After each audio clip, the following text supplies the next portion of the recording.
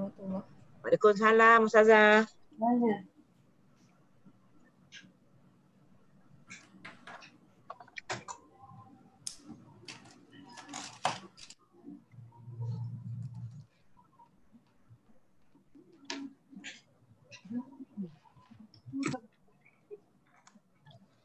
Benda ni hari-hari guna pun kadang lupa.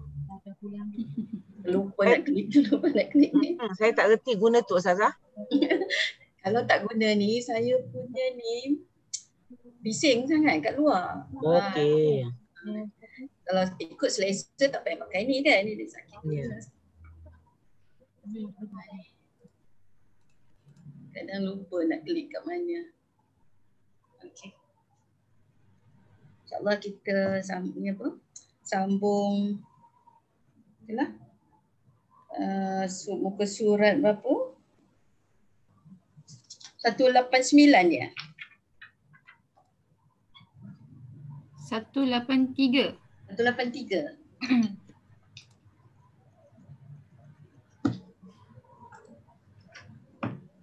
Okey, insyaAllah kita mulakan dengan uh, uh, Bismillahirrahmanirrahim. Assalamualaikum warahmatullahi taala wabarakatuh. Eh, InsyaAllah kita mulakan pertemuan kita hari ini dengan baca umum kitab surah Al-Fatihah. Bismillahirrahmanirrahim. Alhamdulillahirabbil alamin. Ar-Rahmanirrahim. Maliki yaumiddin. إياك نعبد وإياك نستعين اهدنا الصراط المستقيم صراط الذين أنعمت عليهم غير المغضوب عليهم ولا الضالين آمين سبحانك لا علم لنا إلا ما علمتنا إنك أنت العليم الحكيم رب اشرح لي صدري عن رب اشرح لي صدري ويسر لي أمري واحلل عقدة من لساني ربي زدنا علما وارزقنا di muka surat lah 183. Kita berhenti hari tu ayat 30. Ayat 58 lah kan? 8 dalam ayat 18 dalam surat 181 oh, 182 183 ya. Okey dalam muka surat 181 tu ada perkataan as-sadiqul masduq. Cuba tengok. Perkataan as-sadiqul masduq itu gelaran kepada Rasulullah. Hmm. Yang benar dan yang di, dibenarkan. Eh, Yang dibenarkan. Kata-katanya kata-kata baginda sentiasa benar dan apa saja yang disebut oleh baginda itu memang eh, sesiapa saja yang kenal baginda atau tak kenal akan membenarkan baginda. Itu gelaran kepada Rasulullah. Dan kita sambung kepada ayat 15 eh, ayat ليمك بسم الله. أعوذ بالله من الشيطان الرجيم. بسم الله الرحمن الرحيم. إن مثل عيسى عند الله كمثل آدم.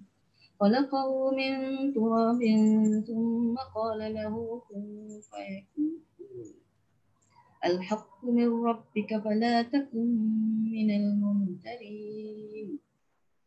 فمن حاجك فيه من بعد ما جاءك من العلم فقل تعالوا ندعو فقل تعالوا ندعو فقل تعالوا ندعو أبناءنا وأبناءكم ونساءنا ونساءنا ونساءكم وأنفسنا وأنفسكم.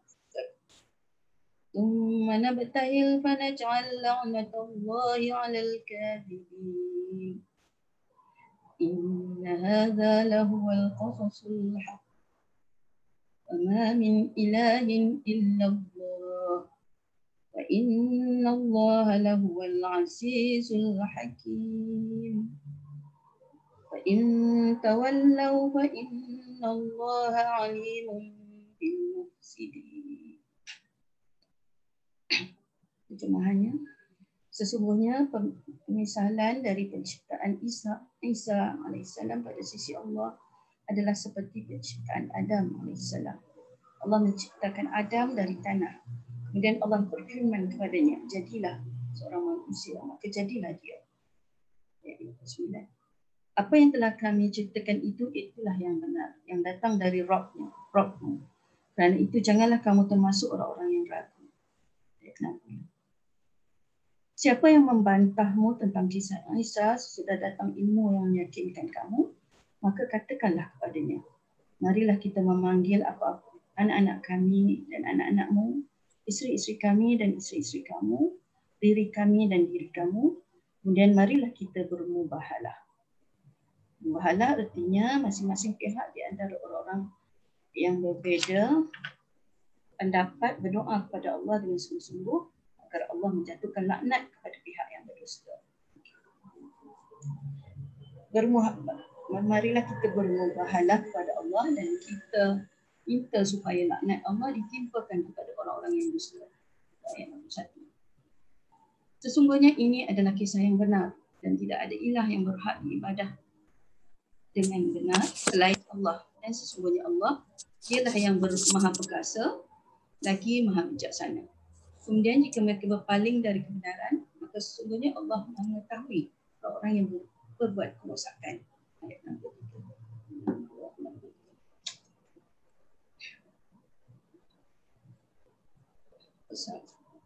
Kita pergi kepada tajuk yang buku surat lepas 84 ni. Persamaan dalam penciptaan Adam dan Aisyah. Jadi ayat ini, ayat tadi menceritakan tentang tidak ada beza penciptaan Nabi Isa dengan Nabi Adam AS. Ha, tidak ada beza segi apa? Segi semuanya adalah dengan kehendak Allah. Ya?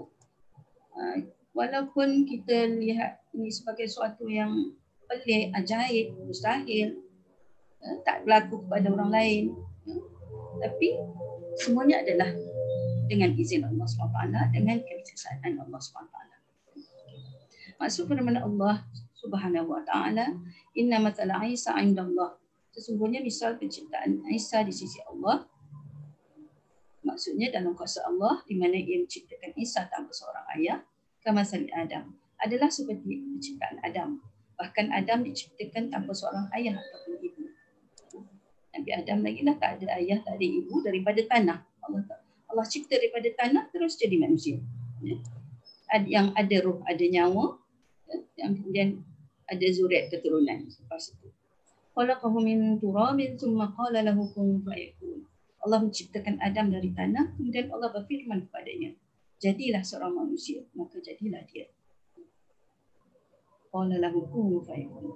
Dan dia yang telah menciptakan Adam tanpa ayah dan ibu tentu saja lebih mampu menciptakan Isa alaihissalam. Dan jika dakwaan bahawa Isa adalah anak-anak Allah itu dibenarkan dengan alasan itu dan alasan ia diciptakan tanpa ayah maka dakwaan bahawa Adam adalah anak Allah tentu lebih tepat sebagaimana dimaklumi bersama klaim tu klaim tu dakwaan lah. Bahawa Adam adalah anak Allah sama sekali tidak dapat diterima. Maka tentu dakwaan terhadap Isa lebih tidak dapat diterima Namun Allah Subhanahu wa Jalla berkehendak untuk memperlihatkan kekuasaannya bagi semua makhluknya. Dia menciptakan Adam tanpa melalui seorang laki-laki maupun wanita. Dan menciptakan Hawa melalui seorang laki-laki tanpa wanita. Serta dia menciptakan Isa melalui seorang wanita tanpa laki-laki. Sedangkan dia menciptakan manusia lain yang melalui laki-laki dan wanita. Kerana itulah dia berfirman dalam surah Maryam, dalam surah Maryam, walina ja'alahu ayatan linnas dan sesungguhnya kami akan menjadikannya sebagai tanda kekuasaan kami bagi manusia. Semua itu adalah tanda kekuasaan Allah Subhanahu taala. Allah boleh buat apa saja. Ya. Daripada tak ada kepada ada. Ya. Dan dirinya Allah itu sendiri ya, ada sejak awal, sejak bila-bila dan ada sampai bila-bila. Tidak ada bermula dengan sesiapa. Kan? Tidak ada bermula dengan sesuatu. Ha, jadi semua kerana Allah itu adalah Allah. Allah itu adalah lah, adalah Rabb. Ya, Maha pencipta. Ya, maha pencipta, maha kuasa, maha bijaksana. Ya. Ha, dengan segala kehendaknya dia boleh melaksanakan apa saja. Dan di sini di dalam surah Ali Imran ini Allah berfirman, "Al-haqqu min rabbika fala takum minal mumtarin." Apa yang telah kami ceritakan, ceritakan itu, itulah yang benar. Yang datang dari Rabbnya. Kerana itu, janganlah kamu termasuk orang yang ragu. Maksudnya, itulah ucapan yang benar mengenai Isa AS. Tidak ada penyimpangan di dalamnya dan tidak ada kebenaran selain itu. Dan tidak ada setelah kebenaran kecuali kesesatan. Daripada Allah semuanya benar. Dan daripada manusia, daripada makhluk, tidak semestinya yang benar. Dan kalau ada yang salah, itu adalah daripada makhluk. Ya? Ha, itu al-haq. Allah Maha benar. Apa yang disebut itu semua benar dan tidak ada yang tidak benar sama sekali. Ha, kalau kalau ada yang sesuatu yang yang tidak benar itu bukan bukan daripada Allah. Itu adalah daripada manusia. Daripada makhluk. Dan ajakan untuk untuk mubahalah berkaitan dengan masalah Isa alaihissalam. Uh, mubahalah ni daripada ayat tadi daripada perkataan wa anfusana wa anfusakum thumma nabtahil fanaj'al la'natallahi 'alal kadhibin. Nabtahil tu maksudnya di sini marilah kita manggil anak kami dan anak-anak kamu isteri kami dan isteri kamu diri kami dan diri kamu dan marilah kita bermubahalah. Ha, daripada perkataan itu makna nak tahil tu adalah kita mubahalah. Mubahalah ni maksudnya itulah. Kita bertemu, bertemu bersama-sama bersemuka kemudian uh, buktikan siapa benar dan sanggup kita sanggup nak mengatakan bahawa kita benar tu kita sanggup bersumpah. Sumpah laknat ni maknanya sumpah tu kalau siapa dusta dia terima akibat dia daripada Allah. Itu maksud uh, apa mubahalah. Sumpah laknat. Uh, jadi dalam Al-Quran sebut ada sumpah macam ni. Maknanya dalam dalam Islam Allah sebut adab kita kalau kita benar kita mesti berani. Kalau kita tak berani itu ada masalah. Faham tak? Bukan berani kerana kerana sombong, berani kerana benar. Dan tahap kebenaran tu sampai kita sanggup kalau andainya kita yang salah, ah, akibat tu diterima. Kan? Ah, kalau orang yang berdusta dia ragu-ragu lah. Orang yang tak benar dia takut lah. Kan? Orang yang orang yang benar akan berani. Kalau dia tersalah, Allah maha mengetahui. Ah, tapi selalunya berlaku macam tu lah. Kalau orang tu berdusta dia takut lah. Dia bohong dia takut lah kan? Dia cari helah. tak nak tak jadilah. Tu ada alasan tu alasan ni tak datang lah. Ya? Tak boleh lah tak patutlah buat macam tu, patut buat macam ni. Ha. Ada je alasan. Ya Allah SWT sebut. Ceritakan di sini ada kalau benar, ha, buktikan kebenaran. Dengan sanggup ha, bermubahalah. Ya. Allah sebut di sini. Masa mubahalah tu bawa saksi. Saksi tu semua orang dalam yang ada kaitan dengan kita. Ha, anak-anak kamu, anak-anak kami, anak-anak kamu, isteri kami, isteri kamu, diri kami, diri kamu. Kemudian marilah kita maknanya bawa semua saksi. Tak? Ha, kalau orang yang tak mau jadi saksi tu dia ada masalah lah. Ha, dia di pihak yang lain lah. Ada ahli keluarga kita tapi dia tak nak jadi saksi sebab pihak kita. Ha, itu maknanya dia tak. Dia ragu-ragu. Dia tak yakin dan dia tidak tidak mau menyertai. Ya. Okay. Kemudian Allah SWT memerintahkan Rasulullah Azza wa Jalla Allah Subhanahu wa taala memerintahkan Rasulullah sallallahu alaihi wasallam agar bermubahalah dengan orang-orang yang menentang kebenarannya mengenai diri Isa alaihissalam setelah datangnya penjelasan dengan firman-Nya. Faman hajjaka fihi min ba'di ma ja'aka min al-'ilm abna'akum wa nisa'ana wa nisa'akum wa anfusana wa anfusakum.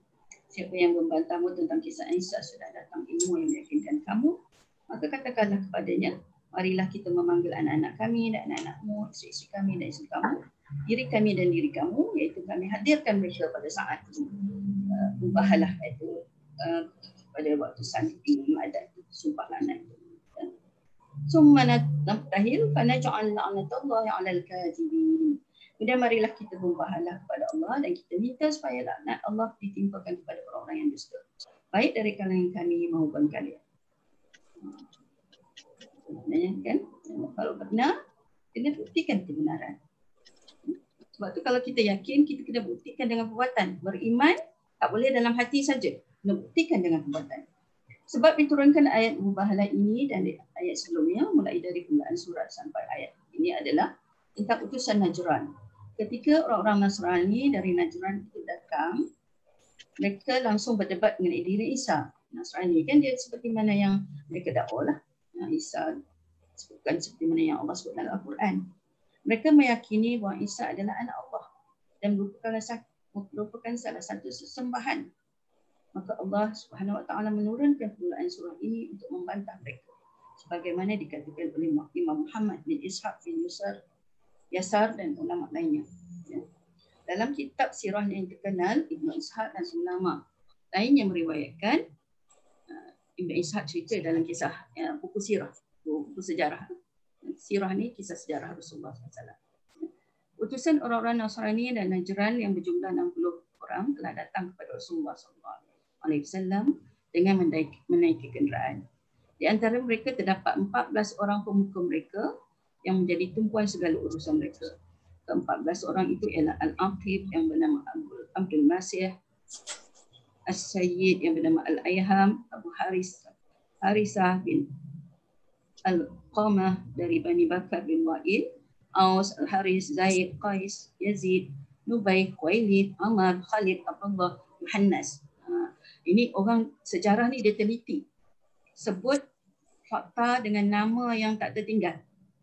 Ha, kan maknanya sebab uh, penting apa yang apa apa saja yang ada kaitan tu disebut dengan teliti dengan detail. Ha, kalau tak tak tak ada yang apa detail tu tak sebut dengan detail. Yang mana ada fakta tu disebut dengan detail. Sedangkan penanggungjawab mereka ada tiga orang iaitu Al-Aqib, ialah pemimpin rombongan, pencetus idea dan penentu perundingan, perundingan yang mereka tidak boleh memutuskan naikkan atas pendapatnya. Kedua, As-Sayyid sebagai orang alim, pengatur perjalanan dan tempat singgah mereka.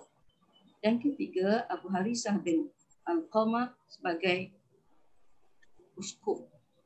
Tahu lah bahasa Indonesia ni uskup apa dan pemimpin kajian mereka ini orang yang ahli strategi strategi uh, strategi.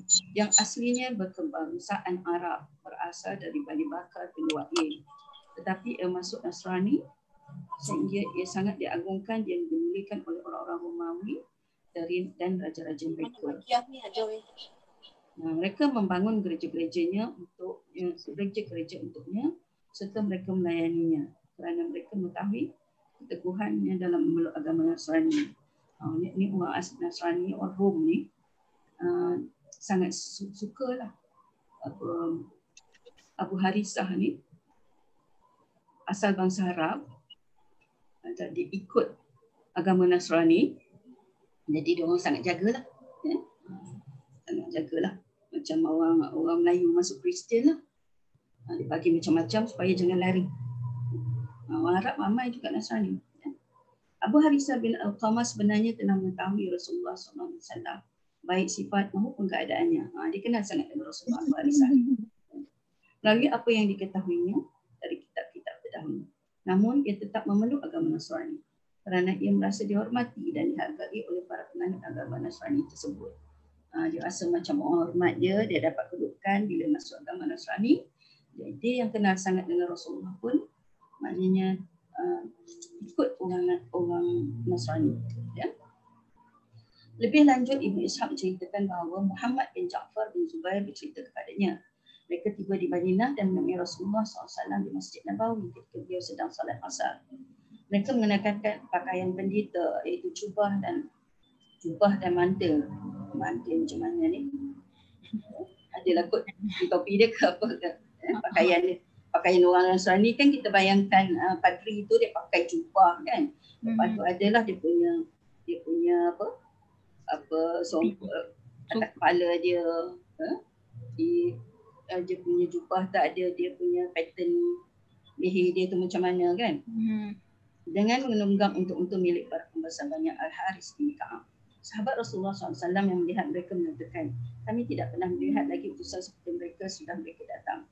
Ketika itu telah masuk waktu pagi, waktu bagi para sekutu utusan itu untuk laksanakan ritual ibadahnya. maka mereka pun berdiri di Masjid Nabawi.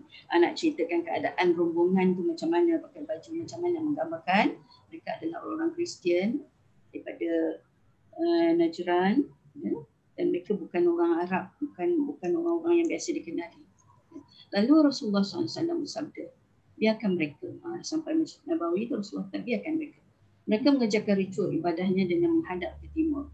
Setelah itu beberapa orang dari mereka berbicara dengan Rasulullah SAW antara lain Abu Harisah bin Al-Qamah, Al-Aqib, Abdul, Abdul Masih dan Sa'id Sayyid Al-Aiham.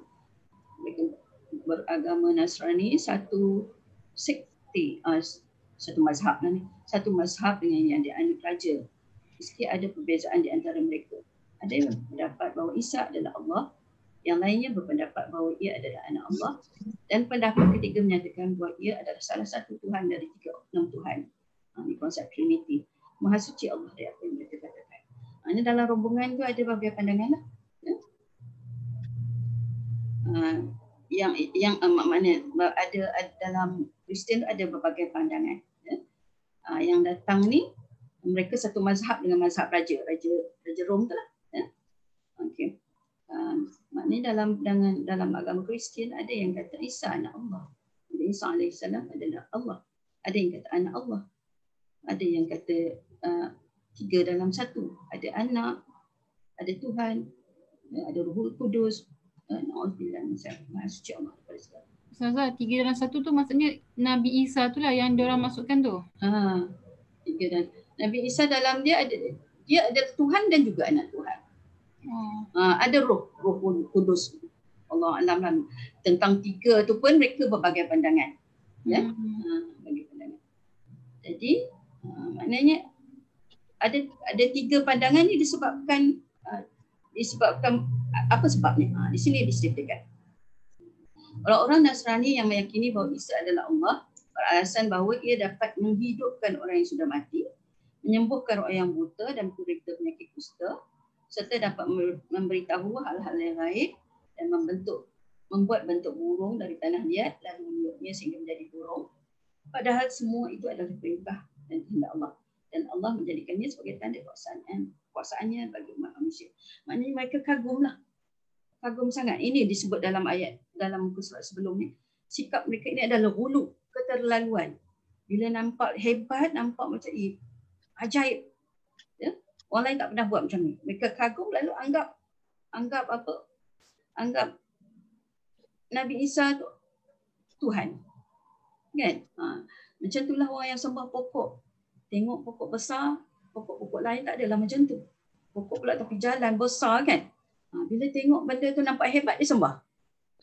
Ha, sembah. Itu sifat bulu, keterlaluan. Ha, maknanya manusia memang ada sifat lemah.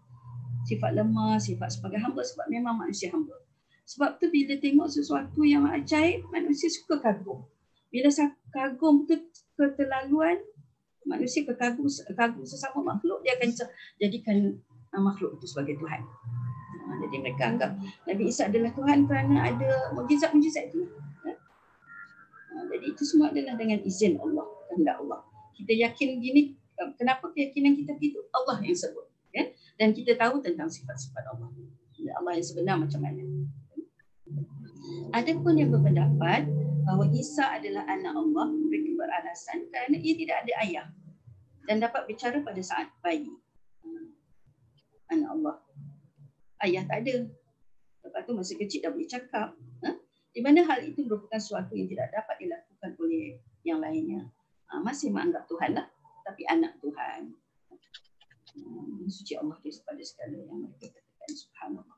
Ha? Sedangkan mereka yang berkeyakinan bahawa Isa adalah salah satu dari Trinitas, uh, konsep Trinity itu, tiga oknum Tuhan, didasarkan pada firman Tuhan menurut sangkaan mereka lah.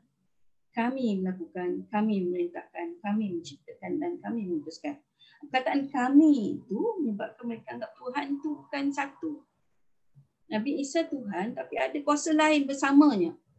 Ha, tu.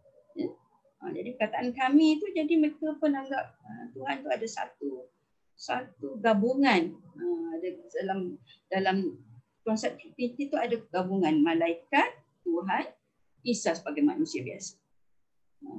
Subhanallah. Firman Tuhan ni maksudnya daripada macam direct ke macam mana Ustazah? Firman Tuhan. Hmm. Firman Tuhan. Ha ah yang kami melakukan kami memerintahkan ni Ah daripada ini daripada ayat dia lah dia kata daripada kitab kitab uh, Injil kan. Hmm. Dalam Al-Quran pun ada perkataan kami. Ah. Allah Allah kadang sebut kat ana kan. Hmm. Kami, ha, kami nahnu. Inna nahnu nazzal. Sesungguhnya kami menurunkan Al-Quran. Itu kami. Bila kami, Allah menggambarkan dia dan kekuasaannya sekali. Hmm. Ha, kalau kalau ana, ha, kalau Allah sebut aku, ha, maknanya dia. Dia sahaja. Hmm. Kalau nahnu mewakili kekuasaannya. Kuasaannya dia jugalah. Hmm. Ha, sebab tu kita kalau uh, kalau apa? Kalau kami itu mewakili diri kita sendiri, uh, kalau dari segi bahasa Arab dia macam besar lah. Ya? Uh, macam agak besar diri lah. Ya? Uh, kecuali kami itu kita mewakili orang lain. Tak apa. Kalau kami itu maksudkan diri kita sendiri itu macam tak apa-apa sesuai lah. Ya? Uh, Allah sekali-kali kadang-kadang sebut saat aku, kadang-kadang sebut ana, kadang kami. Ha, ini yang dia sebut ni daripada daripada kitab kitab mereka lah. Kemudian dia kata menurut mereka jika Allah itu satu nescaya dia akan berkata aku berbuat aku merintahkan ini ayat-ayat daripada kitab ya. Jadi kata kami itu kembali kepada Allah Isa dan Maryam. Ha, pandangan mereka itu. Demikianlah pendapat mereka yang sesat. Maha tinggi dan maha suci Allah dari perkataan orang-orang yang zalim serta ingkar. Maha tinggi Allah dengan ketinggian yang setinggi-tingginya dan semua pendapat yang mereka katakan itu telah disebutkan, dijelaskan kesesatannya di dalam Al-Quran. ya, Dalam ayat sebelum ini. ya. Kemudian Ibnu Ishaq berbicara. Ini Ibnu Ishaq cerita. Ibnu Ishaq ni cerita dalam dalam bukan dalam hadis tapi dia ada kitab sirah. Dalam kitab sirah tu ada Al-Quran, ada ada hadis-hadis Rasulullah, ada cerita-cerita sejarah. Maknanya cerita sejarah Ibnu Ishaq ni berdasarkan uh, kisah daripada Al-Quran dan uh, hadis dan kisah-kisah para sahabat lah. Kemudian Ibn Ishaq bicara tentang tafsir ayat ini dengan mengatakan ketika turun berita dari Allah kepada Rasulullah SAW beserta ketetapan hukuman atas perkara yang terjadi antara beliau dengan mereka, maka beliau diperintahkan untuk bermubahalah dengan mereka. Jika mereka masih tetap ber, bersikeras, bersikap keras bersikap keras dan menolaknya, Rasulullah mengajak mereka kepada Islam. eh, Menolaknya. Jika mereka masih tetap bersik keras, bersikap keras menolaknya. Rasulullah mengajak mereka kepada Islam, namun mereka mengatakan, ha, ini kisah yang rombongan Raja Najran tu lah. Um, namun mereka mengatakan, Hai Abul Qasim, berikan kesempatan. Abul Qasim itu Rasulullah Muhammad SAW. Berikan kesempatan kepada kami untuk mempertimbangkan keputusan kami. Kemudian kami akan mengkhabarkan keputusan kami terhadap ajakan mubahalah yang kau sampaikan kepada kami. Ha, dia kata tunggu kejap. Ha? Ha, kami timbang kejap. Bincang dulu. Ya, bincang dulu. Ha, mereka, kita nak bincang dulu. Maka, maka mereka pun berlalu dari sisi Rasulullah SAW. Mereka pergilah nak bincang. Mereka menemui Al-Aqib, salah seorang penasihat mereka.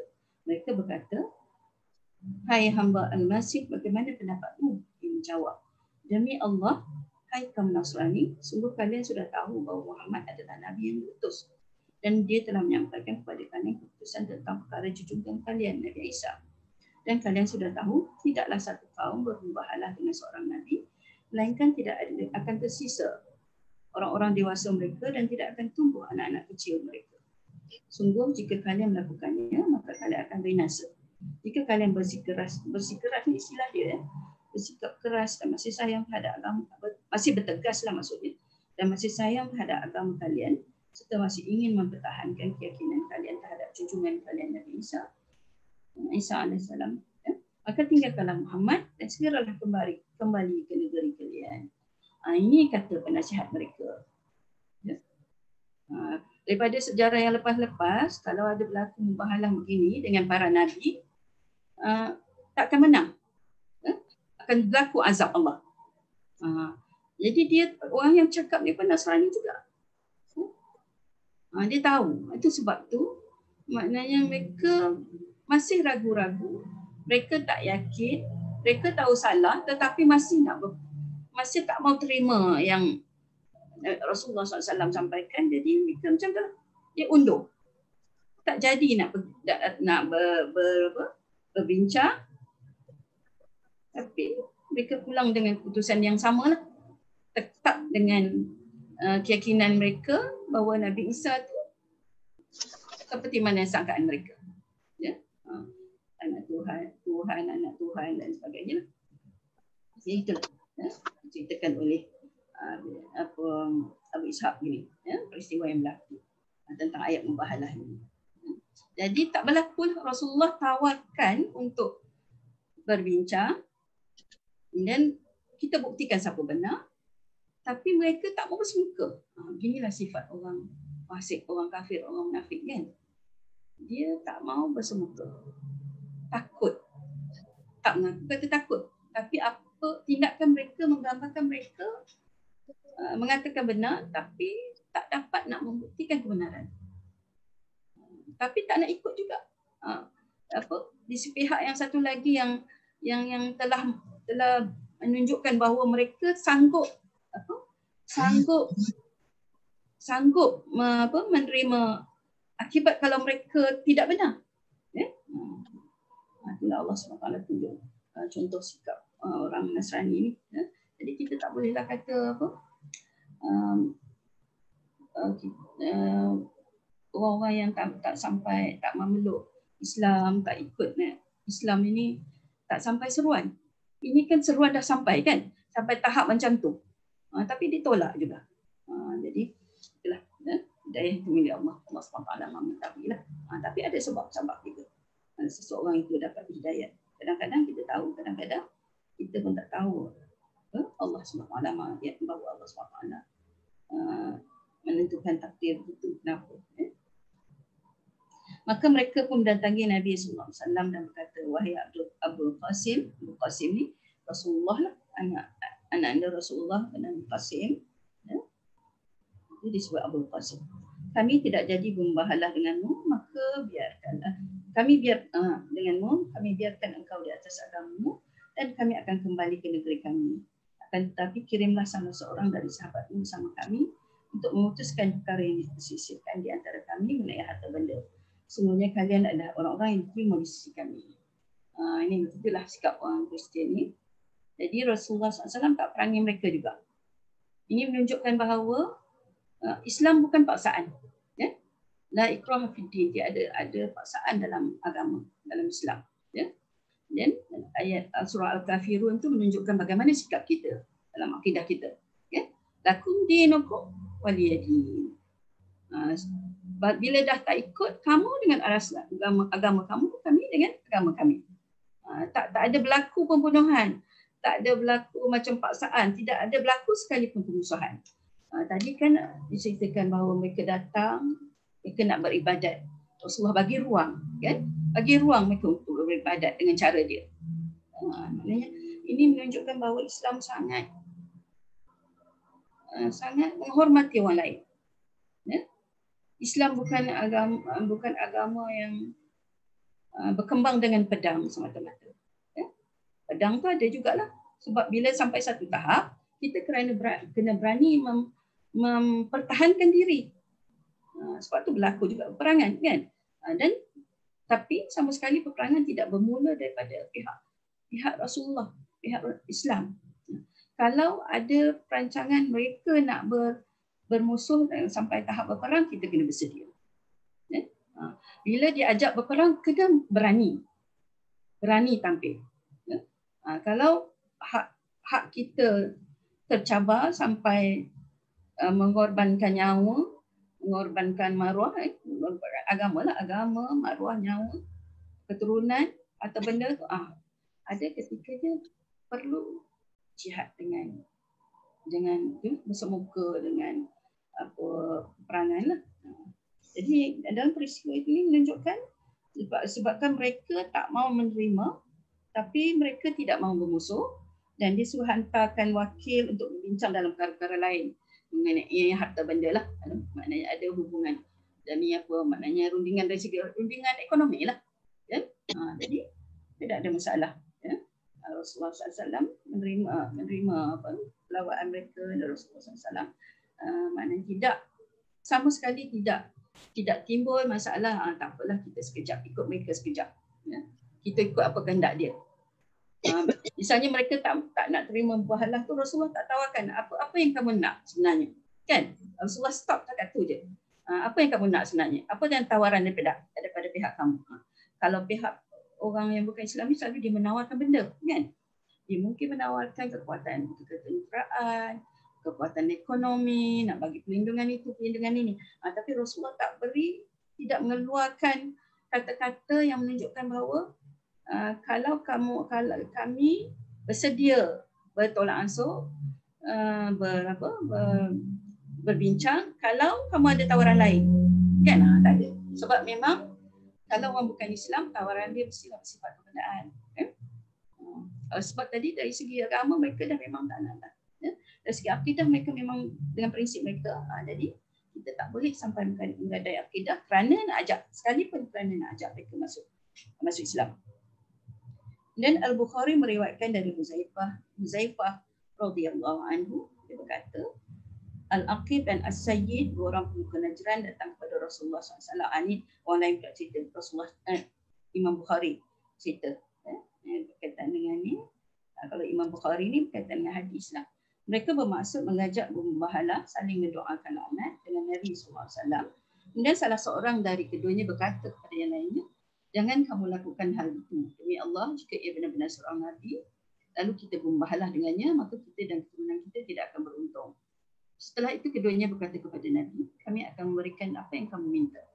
Utuslah bersama kami seorang yang dapat dipercayai dan jangan kamu engkau utus kecuali orang yang benar-benar jujur. Ha, jadi nak berurusan dalam hal lain lah. Ya. Maka Nabi SAW bersabda. Ha, Nabi ini, ini hadis lah. Bila Imam Bukhari merayakan ini, ini, ini hadis. Ya. Maka Nabi SAW bersabda. Daripada Zaifah tadi. La ab'athanna ma'akum rajulan aminan haqqa amin. Aku pasti akan mengutus seorang yang benar-benar dapat dipercayai untuk ikut bersama kalian. Dan baginda bersabda lagi. Qum ya Aba Ubaidah bin Al-Jarrah. Berdirilah wahai Abu Ubaidah bin Al-Jarrah. Ketika itu Abu Ubaidah berdiri, Rasulullah SAW bersabda, Hada aminu hadhihi al-ummat. Ini hada aminu hadhihi al-ummat. Ini adalah orang yang dapat dipercayai dari umat ini. Uh, maknanya Rasulullah akhirnya utus uh, wakilkan Abu Ubaidah Al-Jarrah ini adalah orang yang dapat dipercayai dari umat ini. Uh, Al-Bukhari meriwayatkan dari Anas Anas bin Malik radhiyallahu anhu bahawa Nabi SAW bersabda bersabda lagi? Bersabda lagi likuli ummatin aminun wa aminu hadhihi ummati Abu Ubaidah bin Jarrah.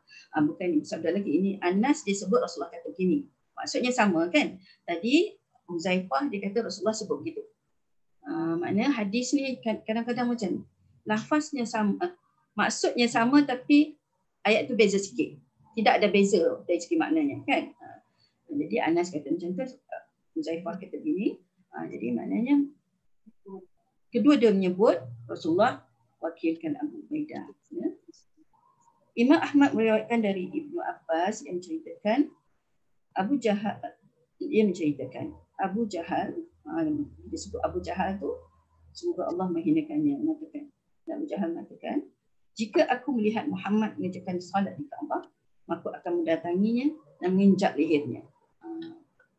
Ibn Abbas berkata, lalu Nabi pun mengatakan, seandainya ia melakukannya, saya malaikat akan mendasakannya. Dengan jelas. Ha? Ibn Abbas berkata lagi, dan seandainya orang-orang Yahudi itu mengharap kematian, nescaya mereka akan mati dan melihat tempat tinggal mereka di neraka. Dan seandainya seandainya berangkat juga orang-orang yang bermaksud bermubahalah dengan Rasulullah SAW, nescaya mereka pulang dengan tidak mendapatkan lagi harta dan keluarga mereka. Uh, ni hadis ni yang dia nak cerita berkaitan dengan ada tentang mubahalah lah. Ya. Uh, kalau orang yang bermubahalah dengan Rasul, dengan para Nabi dan Rasul, nescaya mereka bukan di pihak yang benar.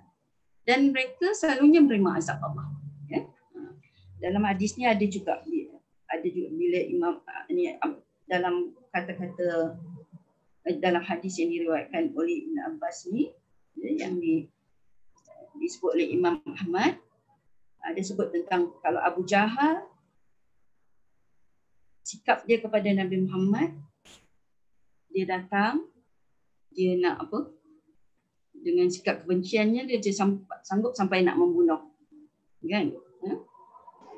Begitu juga orang Yahudi ya? mereka melihat Rasulullah ya?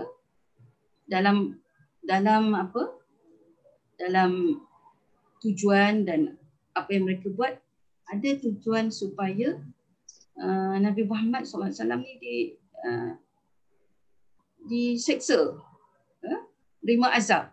Tapi Allah SWT tidak pernah memenangkan mereka. Ya, tidak pernah ada sesiapa yang berjaya menyeksa para uh, para nabi para rasul masuk Nabi Muhammad SAW uh, sampai menyebabkan kematian. Kan Allah tak pernah membiarkan rasulnya uh, apa kalah di tangan musuh uh, itu termasuklah dengan membahala Allah sentiasa akan berikan kemenangan kepada baginda. Ha, tapi dalam mubahalah ini, dalam peristiwa Rasulullah dengan orang-orang Najran ini menunjukkan bahawa tidak berlaku mubahalah itu. Ya? Tidak berlaku. Kalau berlaku, mestilah. Ya? Allah SWT membela Rasulnya. Ya? Allah SWT membela kebenaran. Ya?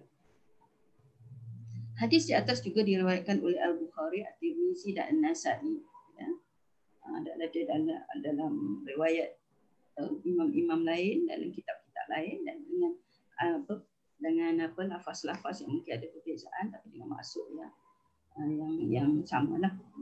Selain itu Allah Subhanahu Wa Taala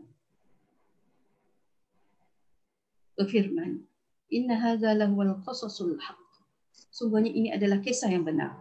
Maksudnya apa yang kami ceritakan kepadamu wahai Muhammad, Nabi Isa, adalah kebenaran yang tidak ada penyimpangan penyimpangan di dalamnya dan tidak terbantah. Yang satu yang benar yang tidak ada siapa boleh menafikannya. Ya. Wa ma min ilahin illallah wa inna Allah lahul azizul hakim. Ya. Fa in tawallaw Tegak itulah ya. Inna Allah wa inna Allah lahul azizul hakim. Dan tidak ada ilah yang berhak diibadahi dengan sebenarnya selain Allah. Ada Tuhan yang disembah melainkan Allah. Dan sesungguhnya Allah dialah yang maha perkasa lagi maha bijaksana. Dan jika, jika mereka berpaling dari kebenaran, fa in tawallau fa inna Allah alimun bil mufsidin. Iaitu berpaling dari hal itu kepada yang lain, maka sesungguhnya Allah mengetahui orang yang berbuat kerusakan. Hmm. Maknanya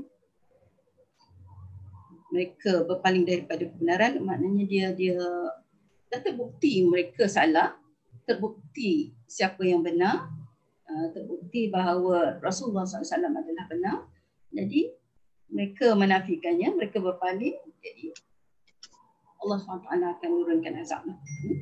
Artinya barang siapa menyimpang dari kebenaran menuju kebatilan maka dialah orang yang berbuat kerosakan Allah Maha mengetahui sama semua itu dan dia akan membalasnya dengan seburuk-buruk balasan dia maha kuasa, tidak ada sesuatu pun yang terluput darinya. Maksudnya Allah dari segala puji baginya. Kita berlindung kepadanya dari kebukaan dan asapnya. Jadi maknanya uh, dah terbukti siapa yang benar. Ya?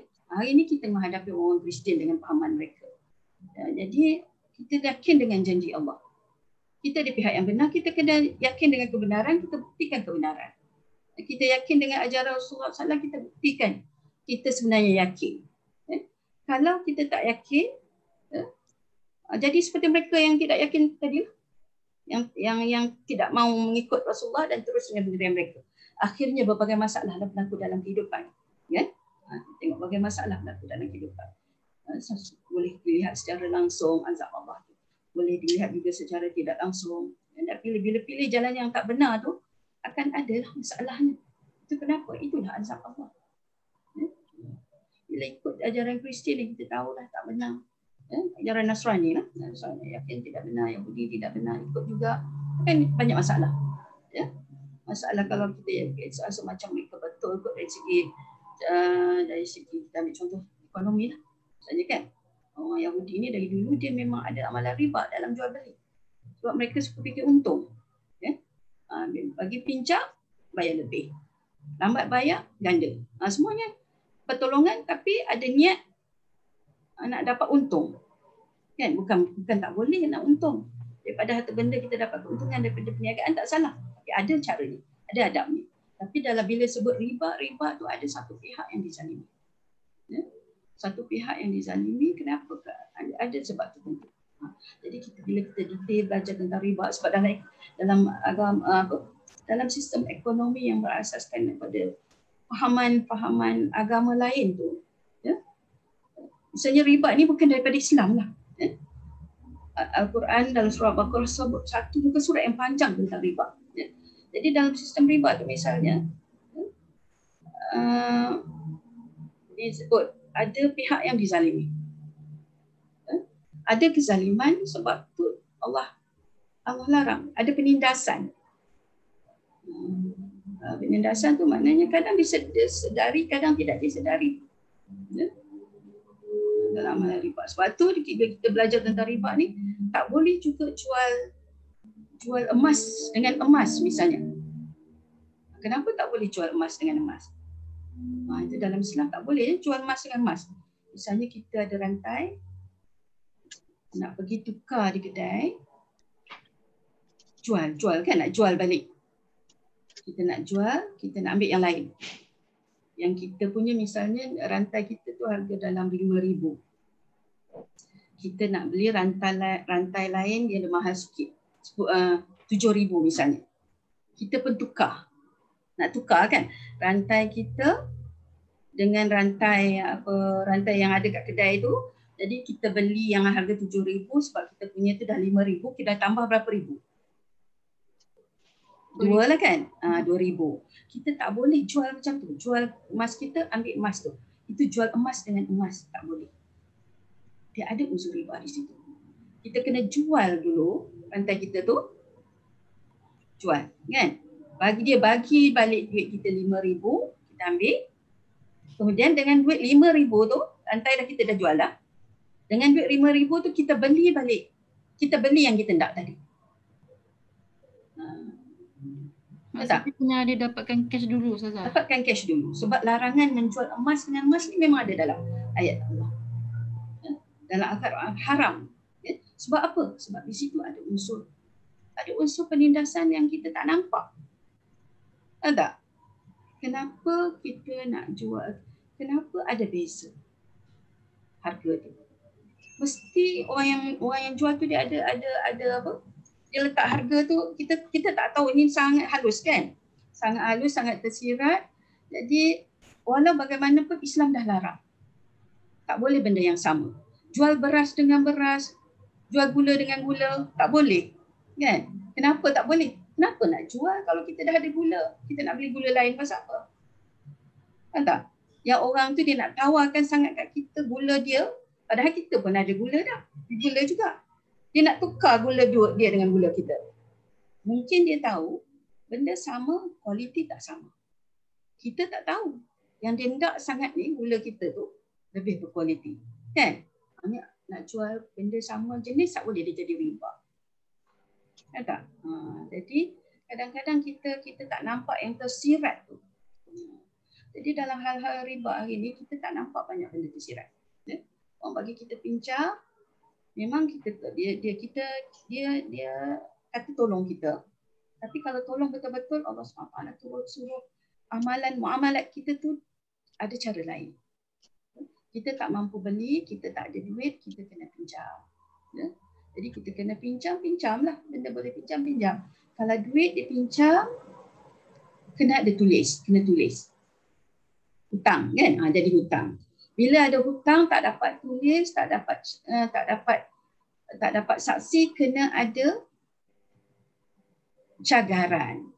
Ha, itu dalam Islam ada pula caranya cagaran. Cagaran ini berhutang eh, ber, apa? Gadai lah. Ha, sebab orang memberi hutang ni dia rugi juga orang tak bayar kan. Kalau orang tak bayar. Kita nak pinjam, orang tu nak guna juga duit dia. Tapi sebabkan kita lebih perlu dia bagi. Tiba-tiba kita tak bayar. Kan? Ha, itu zalim juga. Jadi Allah SWT ajarkan dalam Islam ada konsep gadaian. Ha, kita tak ada duit masa tu kita ada gelang. Ha, bagilah gelang tu. Sampai satu masa kita nak bayar balik, dia bagilah balik kita punya gelang. Kalau kita tak mampu bayar, orang tu pun dah rugi kan? Eh, bukan kata rugi. Macam mana maknanya dah, orang tu pun dah keluarkan harta dia bagi kat kita. Ha, jadi kita kena timbangkan lah. Ha, maknanya kalau kita tak dapat bayar, kita kena sanggup lah. Barang gadaian kita itu, ha, dia, dia apa orang kata terlelap. Kan? Apa maknanya dah jadi luput. Ya? Dalam Islam sangat sangat detail.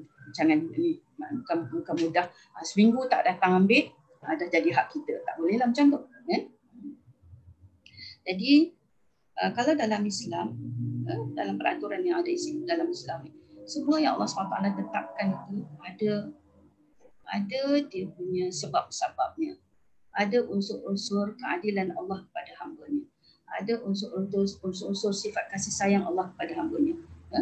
Jadi bila kita dah yakin benar, kita kena ikut semua. Tak boleh pilih-pilih. Kan? Ha, kalau pilih-pilih, macam itulah. Macam ha, macam maknanya Allah kata, ah, tak mau ikut tak apalah. Kan? Tak mau ikut tak apalah.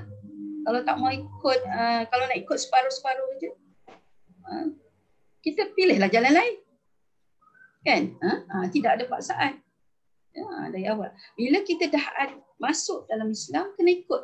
Sebab apa? Sebab semua itu adalah untuk kita juga.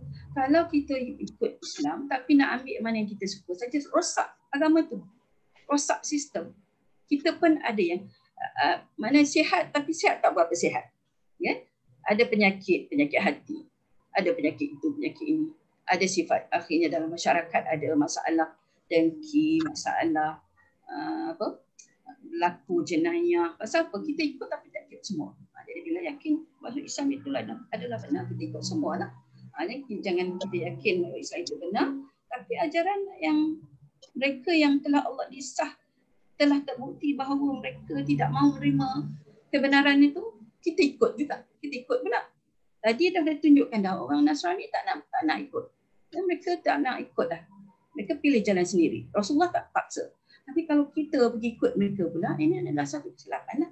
Kan? Kita berzalimi diri kita sendiri. Ha, dia tak paksa kita ikut. Jadi kalau ikut dia tak boleh lah. Dalam Islam, kedua-dua fisil lebih kafah. Bila ikut Islam tu mestilah sepenuh. Secara syumul. Seluruh, seluruh perkara kaitan dengan kehidupan kita. Islam adalah jalan hidup. Bukan hanya uh, ibadah yang tertentu sahaja. Bila kita kata Islam ini dalam dalam hal-hal tertentu kita ikut Islam ikut ajaran Rasulullah. Dalam perkara-perkara tertentu kita tak yakin kita ikut cara lain. Eh, yang tak islami. Kan yang tak Islam, yang jelas daripada agama lain. Ha, itu salah lah. Masuk tak sepenuh. Ya? Ha, jadi, mana ha, masuk Islam kudukulu fisil mikafah. Allah kata masuk Islam itu sepenuhnya. Ha, seluruhnya. Ya? Dalam semua seluruh aspek kehidupan sebagaimana yang kita setiap hari duk baca dalam inna solati wa nusuki wa mahyaya wa mamati lillahi rabbil alamin. Dan kita baca lagi Fatihah. Iyyaka na'budu wa iyyaka nasta'in. Hanya kepada lah kami sembah, kan? Hanya kamu. Engkau lah ya Allah kami tempat kami mohon pertolongan. Ha, tapi dalam kalau dalam amalan kita tidak membuktikan itu, eh, maknanya ini Allah apa maknanya penerimaan Allah terhadap kita tu maknanya bergantunglah kepada bagaimana kita menyerah diri kepadanya. Kita menyerahkan sepenuh, Allah menerima sepenuh. Kita menyerah separuh, Allah Allah tak boleh, Allah tak terima kalau berkaitan dengan akidah tu, walaupun bukan separuh. Kita terima semua 0.01 saja kita tak terima. Kan? Yang lain kita terima. 0.001 sahaja kita tak terima. Dari segi akidah kan? Sikit sangat tak terima. Yang lainnya 99 poin berapa peratus tu semua Allah tak terima. Hmm? Ha, macam tu lah. Akidah kan? Akidah. Misalnya akidah dia tentang iman lah. Tapi ha, kekal kecil misalnya. Ha, Na'udzubillah terlintas dalam fikiran ni misalnya. Betul ke Nabi Isa tak ada ayah? Na'udzubillah. Itu saja persoalannya. Akhirnya dia, dia, dia, dia mula ragu. Bila dia ragu, dia rasa macam mungkin pandangan Kristian tu lebih tepat dalam hal ini. Ha, Na'udzubillah. Kan? Ha, bila macam tu terlintas dan kita akhirnya yakin dengan apa yang terlintas tu dan dikuatkan dengan pandangan mereka yang salah itu kita pun terima. Akhirnya yang lain kita terima lah. Yang lain keyakinan kita yang benar tu, keyakinan kita terhadap Al-Quran, keyakinan terhadap Rasulullah, keyakinan kita, eh, amalan yang kita buat semuanya tidak diterima. Alhamdulillah. Okay. Allah Allah. Kita berhenti zakat tu lah. InsyaAllah ada soalan? Faham tak? boleh, boleh terima tak? Eh, soalan ni. Azza, yang Abu Jahal tu daripada dia daripada salah seorang daripada Nasrani juga. Ah, bukan ni kisah kisah Abu Jahal ni kisah lain. Oh, lain Ha, nak menunjukkan kalau Abu Jahal dia dengan Rasulullah dia memang nak bunuh je. Ya? Uh, memang dia nak bunuh je. Tapi Allah SWT tak pernah memenangkan dia. Uh, uh, begitu juga dengan orang Yahudi, Allah tak pernah memberikan kemenangan kepada mereka. Uh, sebagaimana Allah SWT uh, dalam mubahalah dengan Nabi dan Rasul, Allah SWT tidak pernah memenangkan pihak musuh. Nah, contohnya kepada Rasulullah berlaku mereka tak jadi datang. Mereka tak jadi berbincang. Mereka undur diri. Kan ada undur diri. Ha, jadi contoh menunjukkan bahawa kalau berlaku mubahalah tu mereka mm, memang akan terbukti mereka salah. Ha, jadi mereka undur diri, mereka tetap dengan pendirian mereka. Ha, dan Allah sebut janji macam tu lah. Mereka bila dah tak tak betul, mereka terus bersikap begitu akan tiba azab-azab Allah kepada mereka. Ha, secara langsung, secara tak langsung yang boleh kita lihat, yang boleh yang boleh kita nampak, yang tak nampak di dunia, di akhirat. Kan? Ha, ni kisah Jahal ni Imam Ahmad nak sebut dalam hadis ni Ibnu Abbas ada sebut. Ha, ada sebut. Dan sebut kata Rasulullah kata. Ya.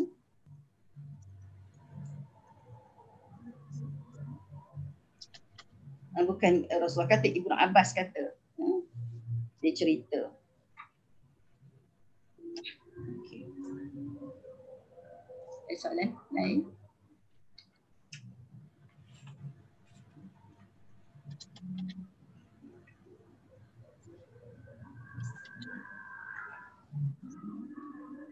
Soalnya macam yang baca apa muka surat 188 tu dia orang siap nak minta apa? Hmm. Uh, seseorang untuk ni lah untuk untuk nak bermubahalah untuk mengenai harta benda tu macam orang nak pula orang daripada situ Ah. pihak Nabi kan. Ha jadi dalam ha- harta benda ni uh, apa dia punya perbincangan berkaitan dengan urusan-urusan dunia lah. Hmm. Uh, urusan lain lah pula kita tak usah cakap tentang uh, tentang kisah agama tentang apa kepercayaan lah. Tak payah, tak payah cakap tentang Nabi tentang Isa tentang Tuhan. Uh, itu berunding pasal ekonomi saja. Hmm. Jadi boleh. Uh, boleh. Ya, uh, mana boleh berbincang.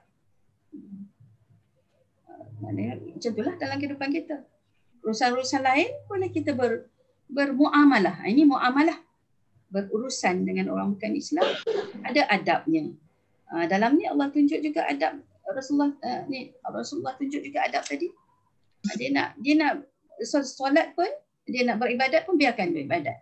Uh, tak boleh kita pergi uh, musnahkan gereja. Uh, mereka teng- tengah tengah solat kita pergi halau. Uh, Rasulullah tunjuk Rasulullah tak ni. Rasulullah tak kacau bab tu. Biarlah. Rasulullah tak sentuh bab tu. Biarlah mereka dengan dengan apa urusan mereka dengan Allah di akhirat pula. Bila urusan dunia kita boleh berbincang. Kalau ikut kan di, di Madinah kan masa kedatangan Rasulullah ke Madinah orang orang Yahudi ikut Islam sebab mereka tahu sistem ekonomi yang Islam bawa pun mereka boleh ikut. Ya? Mereka boleh ikut malah lebih menguntungkan semua pihak. Ha, tapi kadang-kadang sebabkan sifat tamak itu yang mereka masih dengan cara lama. Ada unsur-unsur nak mendalimi orang lain, menipu, kan? Ha, menipu, uh, menganggap orang lain itu tak pandai, jadi dia memperbodohkan orang lain. Ha, itu sikap asal mereka lah. Ha, yang apa maknanya itu sebenarnya kelemahan mereka. Ha? Jadi bila Islam datang dengan contoh teladan yang cukup uh, baik daripada Rasulullah SAW tu mereka akui sebab tu mereka menerima Rasulullah sebagai pemimpin.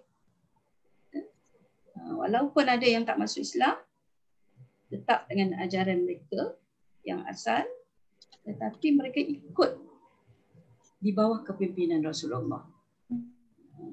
cara amalan hidup Rasulullah dari segi sosial kan macam mana Rasulullah menyatukan umat Islam dengan berhimpun di masjid kan solat jamaah semua tu hidup berjiran kena bersatu padu adik-beradik kena ambil berat ha, itu cara yang Islam tampilkan di mereka akui semua tu